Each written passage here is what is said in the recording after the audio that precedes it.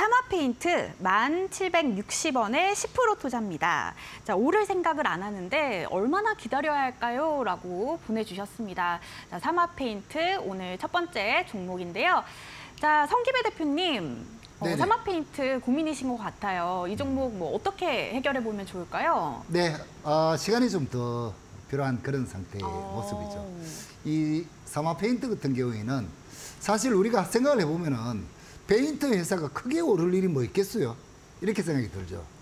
그래서 사마 페인트는 이 재건 쪽이나 건축 이런 쪽에 활성화가 돼야지 대마랑 올 수 있는데요.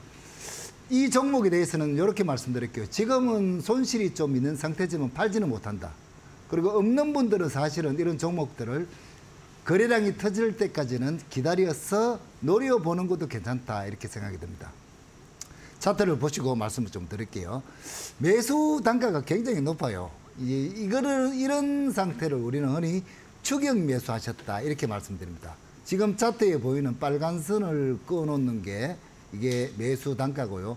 이 시점에 사서도 뭐 최고가에 산 거고 이 시점에 사서도 뭐 최고가에 산 건데 보시게 되면은 이 종목이 이 시점부터 이렇게 항상 윗꼬리를 다는 모습들이 나타나고 있죠.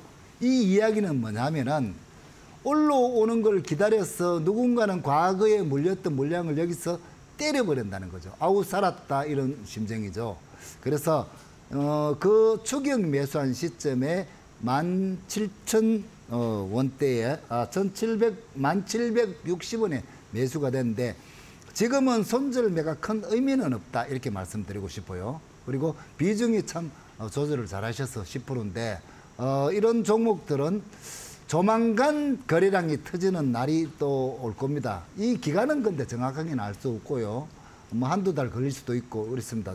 자, 이런 대량의 거래량이 터지면은 이 종목은 또 그 시점까지 뭐 한 만 원대 이런 때까지는 상승이 가능하다고 생각하기 때문에 없는 분 같으면은 이런 종목들이 이제 조정을 받고 있는 상태이기 때문에 한번 매수할 시점을 노리시면 되고요.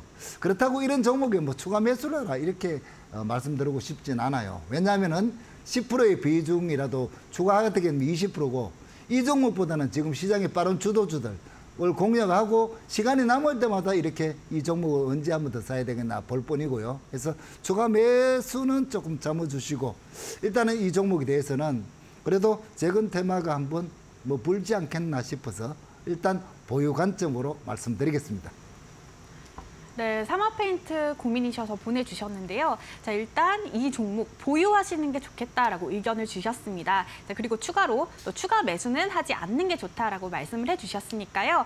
어, 참고하셔서 도움이 되셨으면 좋겠습니다.